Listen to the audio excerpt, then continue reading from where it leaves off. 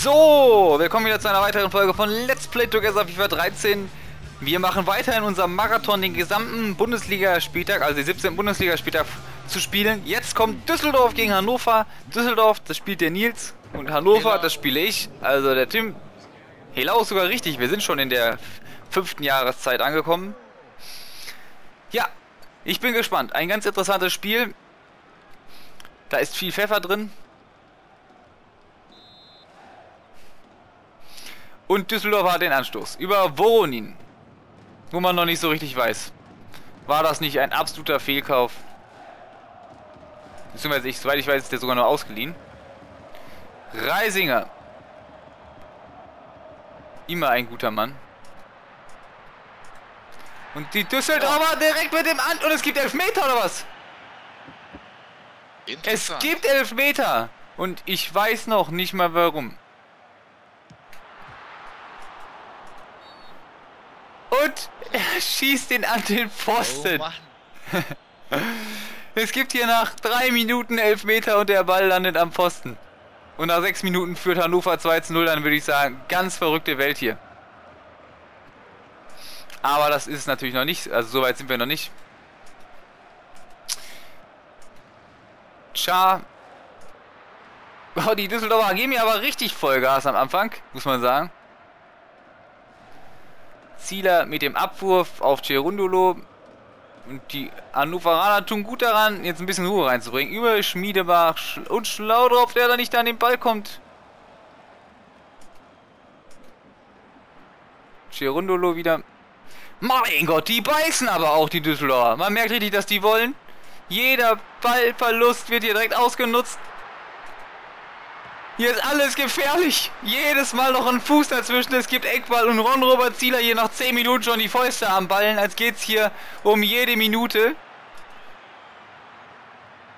Mein Gott, sind die gerade aggressiv, aber aggressiv in einer ganz positiven Art und Weise. Voronin. Der wird ja aber auch, dem lässt man da aber auch die Möglichkeit. Philippe klärt, Huschti jetzt mal. Die Hannoveraner und ich sag's nochmal, bringt Ruhe rein, Jungs. Und nicht sowas da. Nicht solche Scheißpässe, die dann zu nichts führen. Nächste Welle jetzt, wieder von Düsseldorf, über Fink. Und jetzt reicht's Philippe, der da mal mit dem Fuß dazwischen geht. Und deshalb gibt's jetzt Freistoß für Düsseldorf. Und Philippe machte einen Fehler, kam nicht zurück. Panda hat jetzt aber aufgepasst mal. Und jetzt mal der Konter für Hannover. Panda. Christian Panda. Und hinten Jakona, der sieht Stindel. Und Stindel, und das ist Boah. plötzlich gefallen. Das 1 zu 0 in der 17 Minute für Hannover, die erste Chance. Und das ist ganz allein das Tor von Stindel, wobei ich sagen würde, Jakonan kriegt daran auch noch ein paar Prozent, weil der die genau die die Übersicht und die Genauigkeit des Passes war toll, aber was der Stindel dann da macht mit dem Ball, schnell rübergelegt und einfach ganz eiskalt abgezogen. Das war Wahnsinn. Gar keine Chance für Giefer. Und Düsseldorf liegt jetzt zurück gegen Hannover. Verrückt. Ganz verrückt. Ja, Glück geht das ja nicht. Boah, ey. Und jetzt spielt Hannover hier. Über Huschti. Über Sergio Pinto da Silva. Der Mann, der plötzlich innerhalb einer Saison direkt zwei neue Namen bekommen hat. Voronin. Warum denn nicht? Und das war schön. Die Idee war schön. Und den Mut dann zu haben. Alles ist schön. Und die kriegen wieder den Ball nicht raus. Das ist doch verrückt. Das ist doch verrückt. Der tut mir Düsseldorf sogar leid, weil sie... Wenn sie sowas ausnutzen könnten... Und wieder Stindel. Warum denn nicht? Und jetzt der Ball da vorne und oh. sein Fallsieger-Tor von Schlaudorf. Wahnsinn. Und was habe ich noch gesagt gerade? Wenn es nach 20 Minuten 2-0 für, für Hannover steht, ist dieses Spiel verrückt. Und es steht nach 24 Minuten 2 0 für Hannover. Und was der Schlaudorf da macht, ist wieder was für die Galerie. Das kennen wir ja noch aus seinen Aachener Zeiten. Das ist ja schön. 2 0. Und jetzt bin ich gespannt, wie das wie äh, Düsseldorf damit weiter umgeht mit dieser Situation. Also abschießen lassen werden sich doch hier nicht. Dafür kamen sie viel zu cool rüber gerade. Mit viel zu großen Willen. Voronin. Und jetzt dieser Pass auf Reisinger. Und der verschimmelt das Ding. Zieler kam da gut raus. Husti. Panda. Wird er wenig unterstützt. Jetzt kommt erst Husti darunter. Oh. Ja, ist ein Foul. Deshalb ist jetzt gerade noch Vorteil. Fink. Ist ja ganz verrückt. Die Situation jetzt. Die Düsseldorfer mit viel mehr Schwung ins Spiel kriegen den Elfmeter, verschießen den nach drei Minuten. Macht der da? Jetzt ist Bellinghausen durch. Wenn Bellinghausen rüberlegt ordentlich, das macht er nicht. Was aber, wen er da gesehen hat, weiß ich nicht. Und jetzt läuft wieder Stindel. Für mich bisher der Mann des Spiels. Weil er dieses eine Tor super gemacht hat und das andere vorbereitet hat, indirekt durch seinen Schuss. Oh, da ist wieder Hannover, wie man es kennt. Sie spielen ja Europa League. Sie haben also eine Qualität. Und das hat Düsseldorf nicht. Also sollte man eigentlich meinen, man sollte Düsseldorf schlagen. Das sah nach fünf Minuten ganz anders aus. Ja, Kunan. Da wollen sie zu viel, da wollen sie sich zu viel durchtrimmeln. Aber schön zu sehen, dass man da was aus der Zentrale versucht. Und Düsseldorf, ja, die kommen jetzt gerade nicht mehr so ordentlich ins Spiel. Schön rübergelegt. Pinto. Oh! Geht er auf Giefer zu. Mein Gott. Und Das au- für dich? Oh, dafür. Einwurf für Hannover, interessanterweise. Schön gesehen, dass er Jakonan sich freigelaufen hatte. Boah, ey. Hau ab da. Mann. Und Giefer mit dem Abschlag. Und Hannover wieder im Ball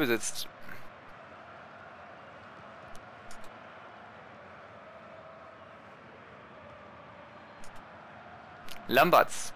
Ich sage ja immer der alte Bengalo-Freund. Voronin. Der hatte schon seine Möglichkeiten. Jakonan. Mein So, jetzt haben sie viel laufen Platz in der. Mitte. Was ist das ist eine? Situation für Schmiedebach. Der macht es. Nicht Giefer mit einer super Parade. Jetzt da Silva mit der Ecke. Und ich bin gespannt. Da ist Philippe. Voronin köpft, richtig raus. Jetzt ist Reisinger am Ball. Und es geht jetzt direkt in die Richtung vom Tor der Düsseldorf, der, der Hannoveraner. Oh. Und jetzt ist Halbzeit. 2 zu 0 führt Hannover gegen Düsseldorf. Dieses Spiel ist verrückt, weil es fast angekündigt wurde. Und da sehen wir doch mal das Tor von Schlaudorf. Schön gemacht. Da musst du auch erstmal das Selbstbewusstsein dafür haben. Und es tut ihm gut, in Hannover zu spielen. Ja. Wir gehen ab in die zweite Halbzeit. Die Statistik haben wir uns gerade kurz angeguckt. Ich habe sie nicht weiter kommentiert. Wichtig ist sowieso, dass die 2 auf der Seite von Hannover steht und die 0 bei Düsseldorf. Aber Düsseldorf ist nicht chancenlos. Da war auch Unglück dabei.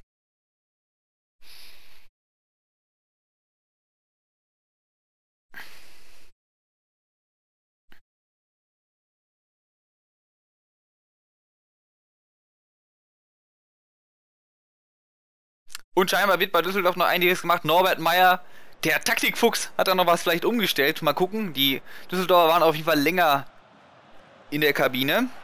Sind jetzt draußen. Schein kommt, Kruse kommt, Schar raus, Reisinger raus. Ja, er gibt also Voroni weiter eine Chance, der auch wirklich gut gespielt hat. Und sieht dann eher den Reisinger als Problem. Cherundolo. Schön.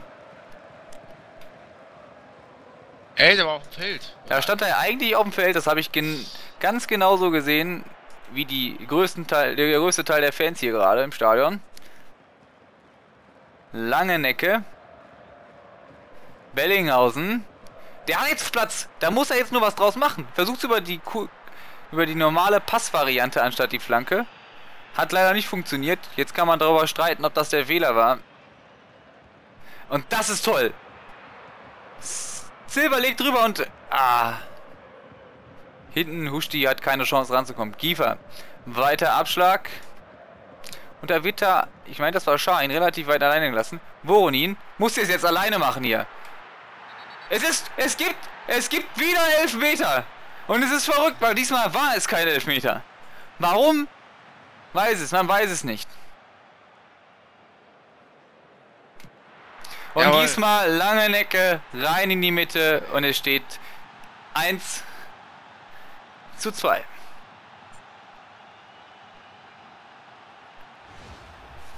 Verrückt. Da kriegt Düsseldorf jetzt 2 Elfmeter und die könnten hier selber 2-0 führen und liegen eigentlich 2-0 zurück und jetzt steht es 2-1. So, bin gespannt, wie Hannover hier weiterspielen wird, ob die das schockt oder ob sie genau weiter so machen im Moment. Ja. Ich gehe davon aus, dass wir Hannover genauso stark sehen werden wie vor dem Gegentor. Die haben eine mentale Stärke, die ist beeindruckend. Ja, Kunan. Steckt da schön durch. Da überlaufen sich da die Düsseldorfer ein bisschen. Und jetzt der Schlaudorf, der alte Künstler. Und wenn er den besser trifft, steht hier 3-1. Das sieht auch Slomka so, der ja auch noch vor kurzem verlängert hat. Bis 2016. Schöner Ball auf Schlaudorf. Oh, der kommt trotzdem dran. Schön durchgesteckt auf Schmiedebach. Schmiedebach sieht da jetzt Stindel und Stindel mit dem zweiten Tor. Das ging total in den Winkel. Also seinem zweiten Tor und dem dritten von Hannover. Das war total toll gespielt. Das war ja absoluter Wahnsinn.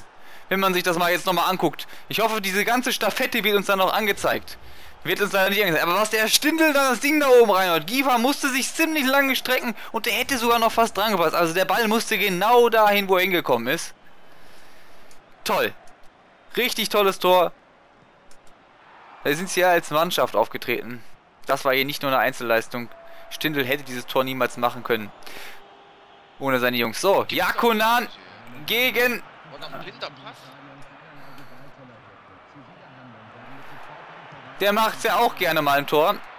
Das war ein bisschen egoistisch von ihm. Jetzt gibt's Freistoß. Klar, die sind da drüber gelaufen. Shahin. Also er kam, von ihm hat man noch nichts gesehen. Wurde eingewechselt. Ja, mein Gott, wie ich das immer hasse. ey. Stindel. Und wenn der in der Mitte den Schlau drauf sieht. Der alte Fuchs versucht da zu lupfen. Da ist Jakonan. Wow. Der ist kein Kopfballspieler. Nein. Wie viele Chancen bekommt hier Hannover noch, ey? Ach ey, mein Gott. Ey, das ist toll. Schmi- Sch-. Miedebach liegt oben. Huschti und Huschti, der hat doch nicht.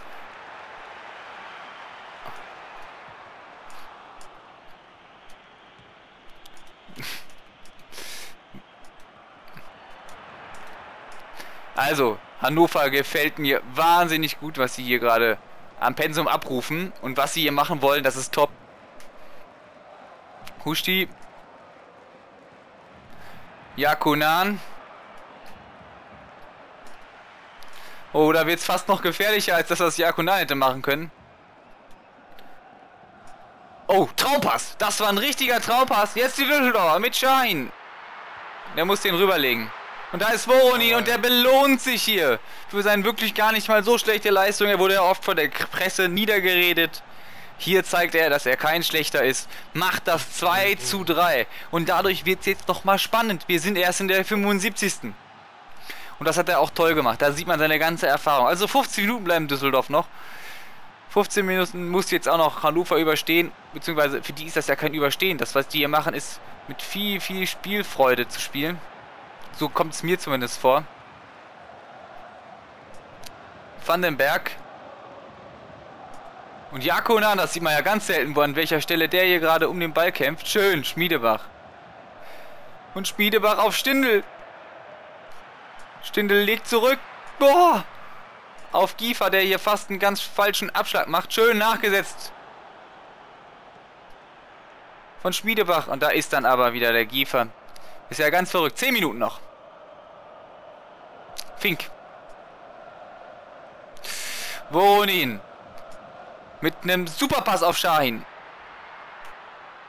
Aber von dem wir, wie gesagt, noch nichts gesehen haben. Jetzt mal vielleicht der Schein, der muss jetzt was kommen und... Oh, Ron Robert Zieler. Also das wäre ja fast das 3-3 gewesen. Hat er super gemacht. Da sieht man, dass dieser Schein trotzdem ein super Junge ist, auch wenn man den nicht oft sieht. Ein Stürmer muss man ja auch nicht die ganze Zeit sehen.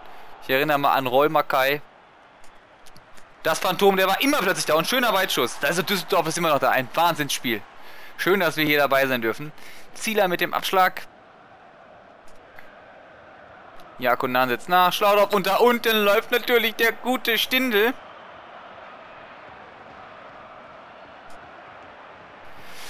Ja, das hat Stindel nicht gut gemacht. Da hätte er, vers er selber versuchen sollen, am Torwart 2 zu kommen, wenn Giefer schon rauskommt. Nächste Chance jetzt vielleicht sogar für Düsseldorf. Voronin verliert er leider den Ball, also keine Chance für Düsseldorf, sondern wieder Hannover im Angriff über Jakunan. Der kommt leider nicht an den Ball. Lamberts. Jakunan legt jetzt rüber. Kriegt den Ball wieder rüber, legt Schlaudorf oder ist es nicht? Jetzt der Nachschuss. Jetzt aber. Schlaudorf mit dem vierten. Also dem vierten Tor für Hannover und er selber mit dem zweiten. Schlaudorf und Stindl zerlegen Düsseldorf. Es steht 4 zu 2 für Hannover, die hier in Düsseldorf spielen. Und was für ein verrücktes Tor! Wenn man sich das mal da genau anguckt. Ganz verrückt. Düsseldorf hier kurz vor dem... Ey, vor, vor dem... Oh, das braucht doch gar nichts, wa? So, und nochmal schlau drauf. Das sind Traumpässe, die sie hier spielen. Schmiedebach. Und wir haben das nicht das fünfte. Das wäre jetzt auch zu viel des Guten gewesen. Vom Geschmack her. Mein Gott, keine richtig köpfen oder was. Oh, jetzt sind die voll langsam gerade. Oh. Der nicht mehr richtig. Auch... So, jetzt muss Abpfiff sein. Nein, noch nicht. Düsseldorf nochmal über Voronin.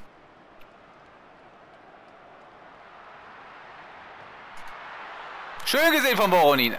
Also der empfiehlt sich hier doch nur für weitere Spiele. Und Hannover und Abpfiff!